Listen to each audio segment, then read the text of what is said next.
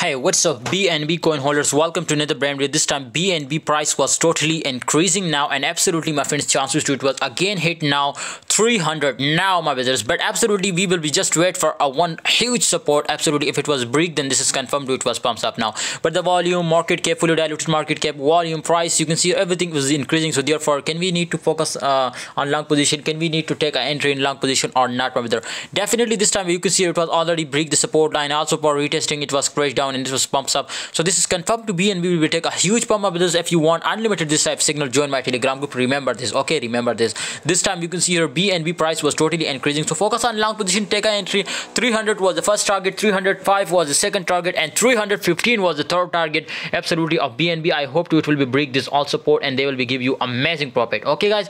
See you next time guys. Hope you enjoy this video. Please like subscribe and join my telegram group for unlimited vip signal. Hope you enjoy this video. Please like subscribe